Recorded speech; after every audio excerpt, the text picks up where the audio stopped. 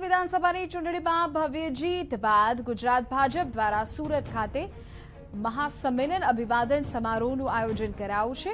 કેન્દ્રીય ગૃહપ્રધાન અમિત શાહ આ સંમેલનમાં વર્ચ્યુઅલી જોડાવાના છે. સીઆર પાટીલ ત્યાં ખુદ ઉપસ્થિત છે અને અન્ય જે સુરતના નેતાઓ છે તેઓની પણ હાજરી છે.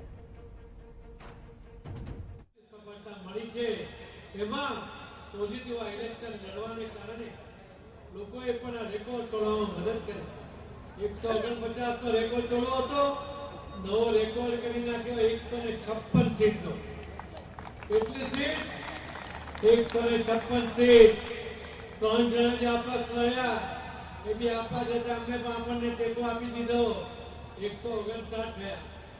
કોંગ્રેસના જે સત્તર જીત્યા, એ સત્તરમાંથી તેર. એ એવા છે કે જે નવસો બાવીસ, ચૌદસો, સોળસો, સત્તાવીસો ત્રણ હજાર, ચાર હજાર, પાંચ હજારની અંદર કોંગ્રેસના જીતેલા ઉમેદવારો એ તેર લોકો છે. થોડી કચાશ રહી ગઈ. થોડી કચાશ રહી ગઈ.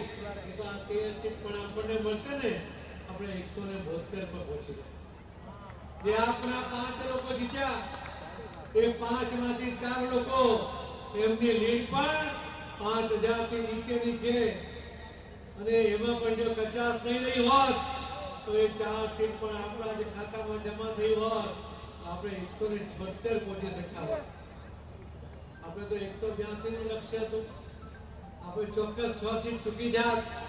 પણ એકસો છોતેર સુધી પહોંચવાની તાકાત આ ભારતીય જનતા પાર્ટીના કાર્યકર્તાઓની છે. એ આજે સાબિત થયું